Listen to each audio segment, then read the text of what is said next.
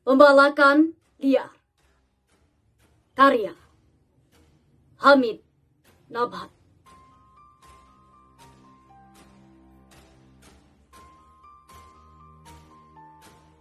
Hutan ditebang. Kayu diburu. Bumi jadi gersang.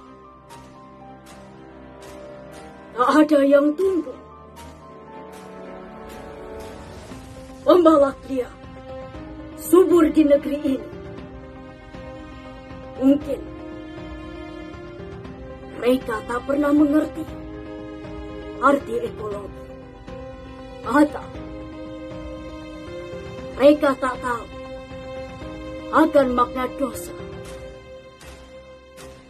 Bisa jadi mereka berpura-pura buta